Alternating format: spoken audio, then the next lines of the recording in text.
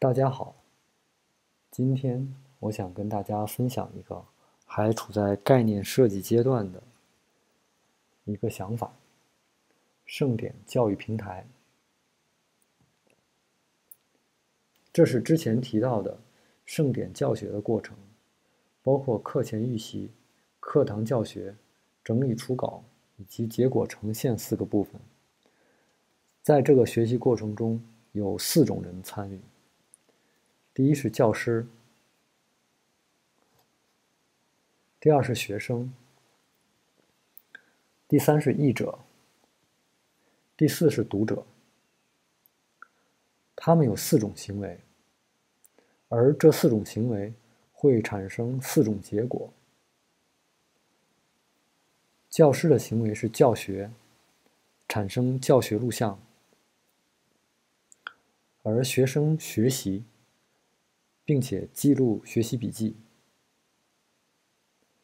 翻译者做翻译，并产生译文，读者阅读以及产生阅读反馈。所以，我们整合这些数据与功能，设计了一个网络平台，帮助他们的工作以及他们之间的互动。这个平台并不是一个完全在线的信息平台，而是一个由线上信息支持线下教学的平台。我们鼓励老师与学生应该进行面对面的交流，学生也需要持续和系统的学习盛典。在线信息可以帮助学生找到适合他们的老师。或者使得翻译者能够得到阅读反馈。他们不仅有各自的行为，而且他们的行为之间存在着关联。我们希望能够帮助老师了解学生的需求，以及使学生找到适合自己的老师。我们希望通过这个平台来促进人与人之间的互动。与提升教学与翻译的品质。所以，我想强调的是，我们不是在做网站，而是用在线信息帮助离线教学。下面，我想详细的解释这个平台如何实现这些想法。对于老师和学生而言，我们的平台。提供了编辑软件，帮助学生记课堂笔记，而且教学的过程被拍摄成录像，在平台上发布。不能到达现场上课的学生可以通过录像学习，而且我们设置了教师空间，让学生能够了解老师的讯息以及他所发布的课程。学生可以使用在线软件记课堂笔记，教师也可以从网络的反馈中完善他们的教学。让我们来看一下这个功能是如何实现的。呃，接下来要为大家演示这个呃维基巴利这个发布平台的一个情况。那首先我要跟大家说明，呃，现在为大家演示的这个东西只是一个，呃呃设计的方案，呃，它只是一个模拟的，呃呈现方式，并不是呃真实已经完成的一个软件或者是网站，啊，所以请不要问我说这个东西在哪下载，啊，这东西还没有，我只是为大家示范一下，呃，我们。呃，设计的一个情况。那首先可以看到，呃，这个画面上是这个平台的一个首页。那在一开始的部分呢，会为大家呃呈现这个呃百分之三十七。这个的意思是指说，我们这个平台上目前呃巴黎三藏的这个翻译的完成度已经到达了百分之三十七。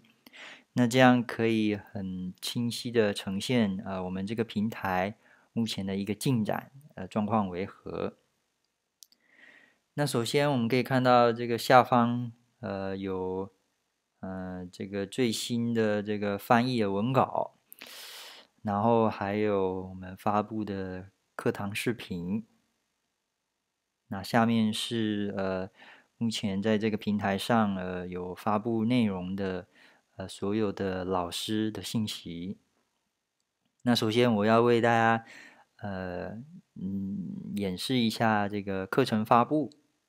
那我们可以看到，在下方有呃五个图示。那第二个是课程，我们先点。啊，这个画面就会跳转到课程的这个页面，这个首页。那同样的，上面会有最新的这个课堂的发布，然后还有这个一系列课程的这些信息在上面。那首先，我们先点这个啊，这第二个比库巴利摩卡啊，可以看到说课程的名称，还有课程的老师，以及这个课程简单的介绍。这边有一个追踪的按钮。这个追踪点了之后呢，只要这个课堂有任何新的更新，就会发信息给呃这个使用者。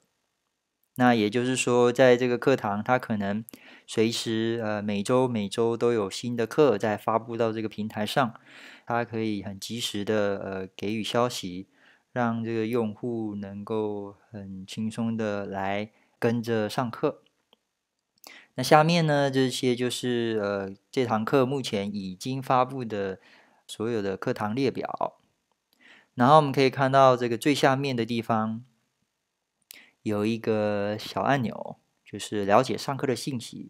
这是为了要让未来呢，啊，我们提供一个渠道，让在这个网站上看视频的人，如果他有意能够参与这个。就是现场参与这个课程，那他可以在这个平台上了解一下关于这个课堂的信息，譬如说他是在哪里上课的，时间为何，那有没有相关的这个资源能够呃让他去也亲自参与这堂课？那我们刻意留了这个呃部分，来让呃就是世界各地的这些学生们能有机会也一同上课。那现在我点课程目录里面的第四个巴拉吉卡二，点进去，然后看到这个画面上呢，就是呃这个课堂的视频，上面是视频的部分，然后下面就会有关于单独这堂课的呃一个介绍。同样的，它也可以收藏呃单独这个视频。那下面呢，可以看到。关于这堂课老师所使用的呃一些经文，嗯，包括巴拉基卡，然后还有疑惑度托，为那个用户呈现这个经文的一些目录层级的位置。那同样的，在这个颜色的这个区块，当用户点击了之后，他也可以直接的阅读这篇经文。那下面就是同样是属于呃这堂课的这个一一系列课程的这个列表都在这儿。那这个就是呃课程发布的一个部分。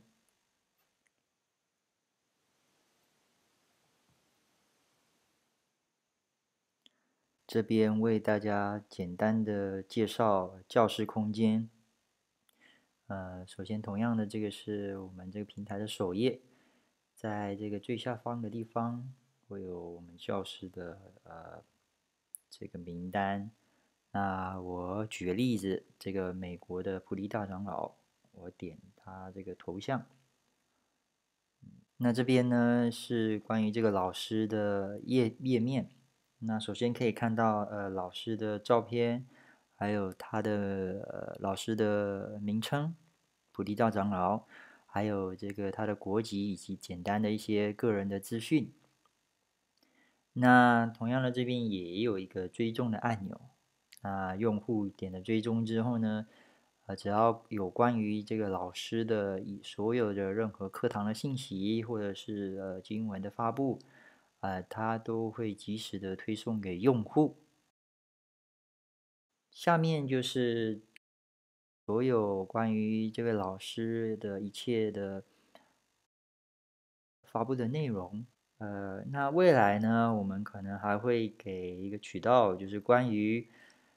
呃，读者，也就是说，在网络上看这些视频的这些用户，他在这个平台上可能会有一些问题，可以进行发问。那老师能够利用这个平台获得这些问题，那给予一些呃回复。呃，那这是呃未来关于这个平台的一些呃计划。那这就是呃教室空间简单的介绍到这边。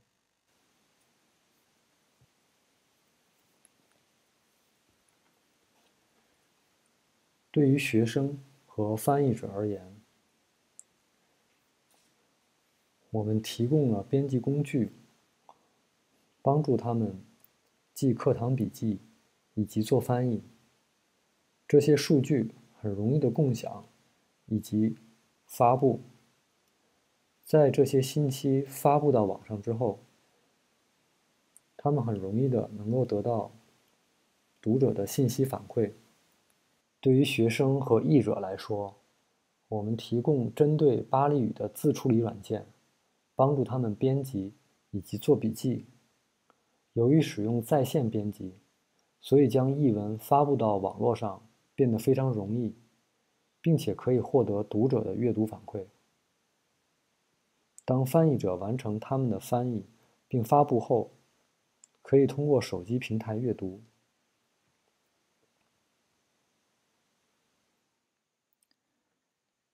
当这些呃上课的学生，呃，他们完成了一些某经文的翻译稿了之后呢，经过老师的认可，那他们能够在这个平台上发布。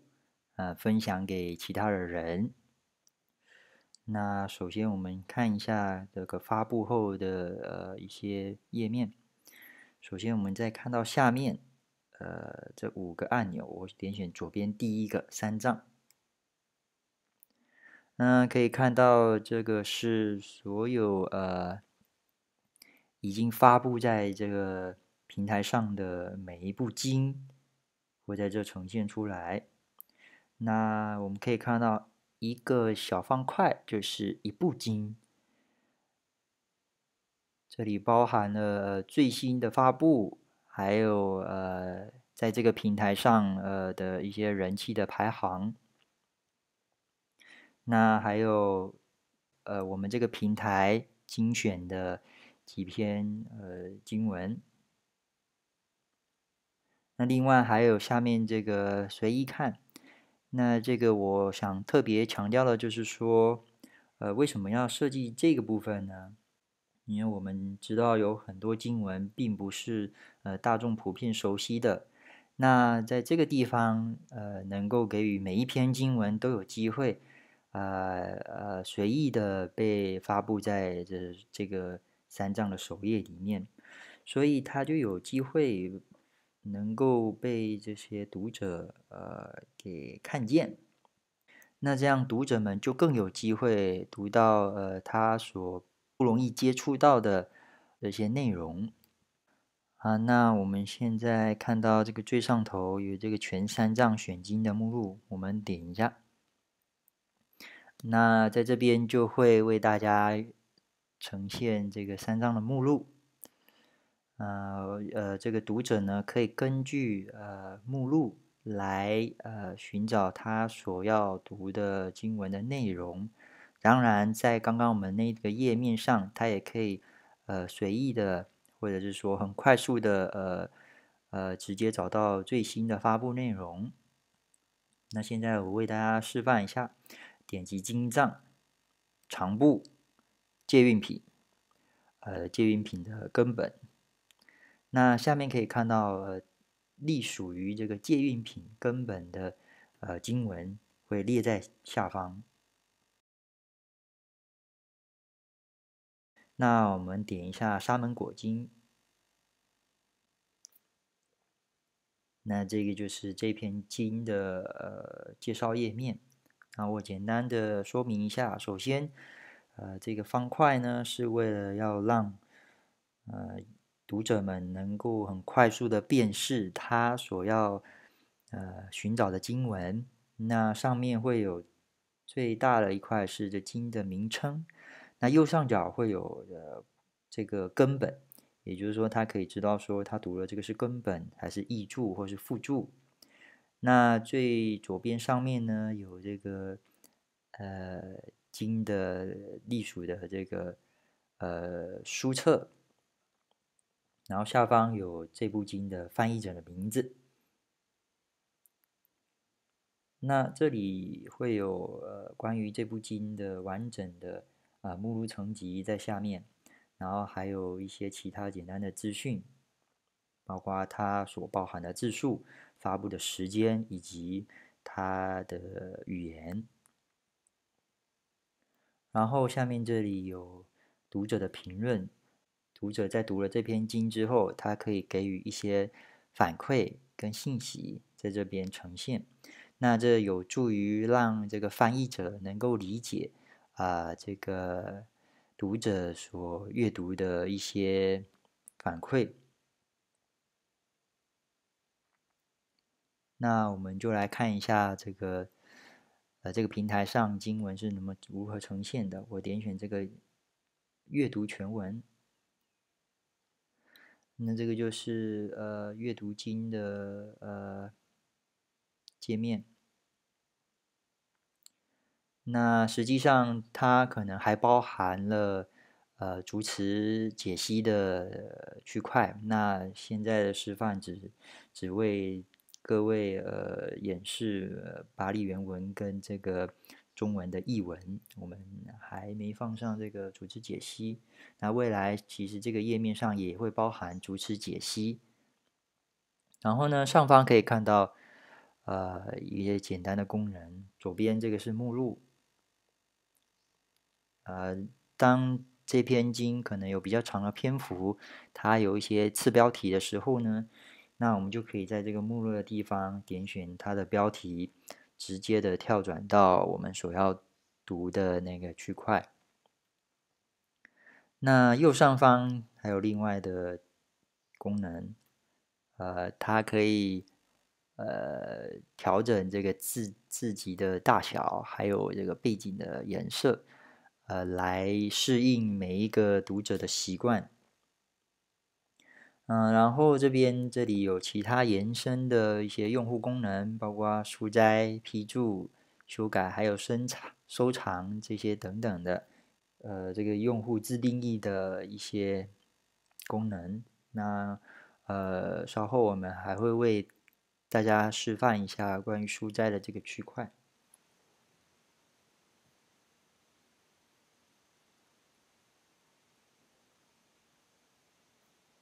对于读者，我们提供了方便的搜索工具，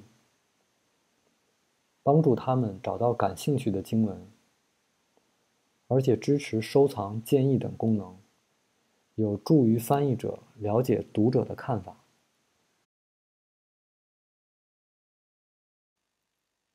那现在为各位示范一下一些读者的功能，我们先。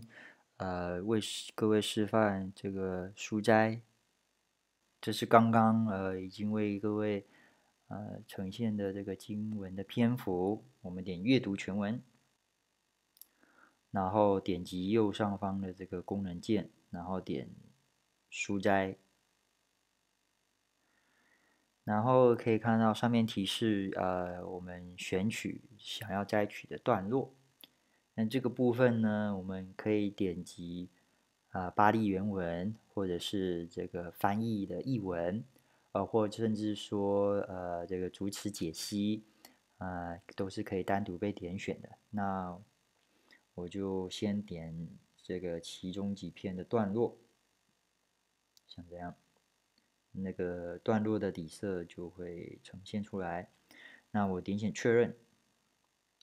那就可以看到这边有我呃点选的这个经文的篇幅，然后上面有一些要输入的一些文字框，有关于这个这篇书斋的主题，还有单独呃这个经文的呃小标题，以及我要呃添加的一些个人的啊心得跟呃说明。也就是这个内容。那我填的这些内容，呃，为大家再详细的说明。可以看到主题这边有呃几个有颜色的呃标签。那这个标签呢，是指说我们的书斋会有几个呃隶属的主题。然后根据这个我们摘取的这个段落的主题，呃，我们呃增加呃为它呃下了一些呃主题标签，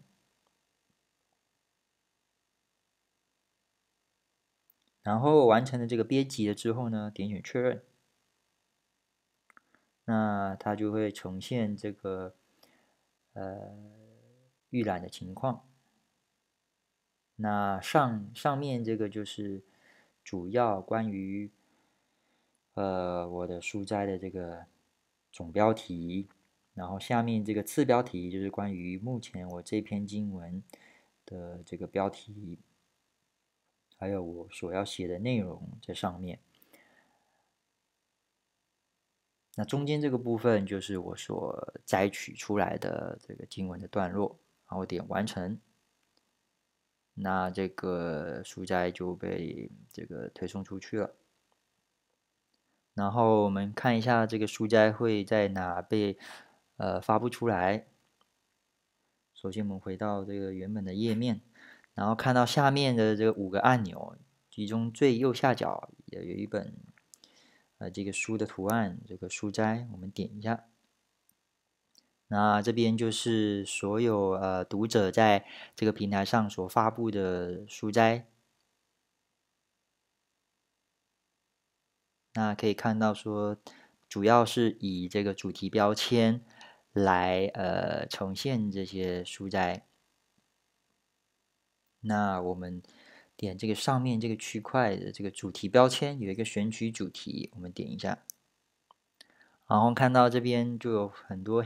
灰色的小区块，这个就是目前这个平台上，呃，所有呃呃读者所设定的这个主题标签，都会在这列出来。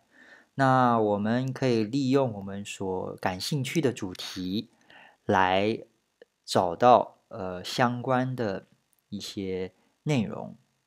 譬如说，我点禅修。点了禅修之后呢，下面就会列出，呃，关于有关禅修这个主题的所有的书斋。那可以看到第一个这个出家修行的次第，也就是我们刚刚示范的，呃，我所发布的这个书斋的内容。那我点一下这个，那可以看到这里就有关于这篇书斋的介绍。然后呢，这边有简单的呃资讯，是包含了这个书斋是摘取哪些呃经文，它的目录，以及它所摘取的这篇经文是由谁翻译的。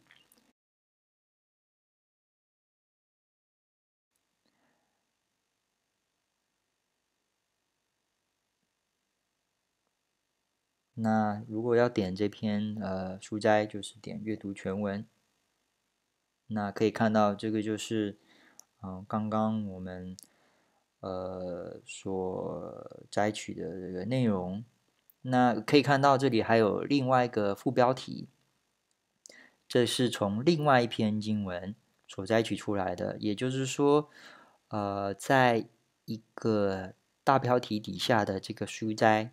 它可以包含了不同的小标题，呃，也就是说，它可以包含不同的这个经文，也就是说，他从不同经文所摘取出来，呃，整理成呃同一篇这个书斋的文章。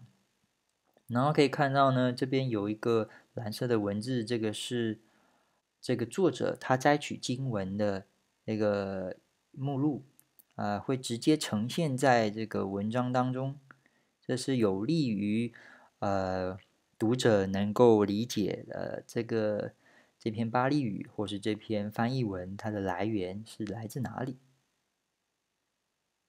那这就是简单介绍呃书斋的功能。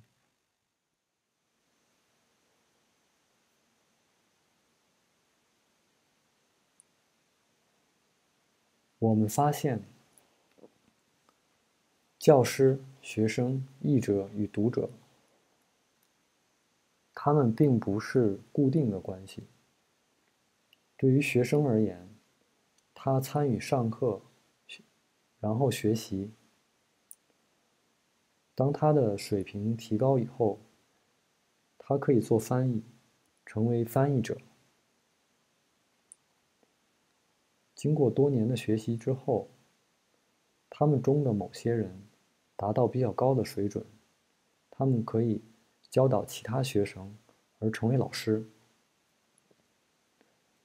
而对于读者而言，通过在线阅读，他们提升了教育水平与信心。他们有可能在之后参与课堂的教学而成为学生。而作为老师而言，他有时也可能成为翻译者。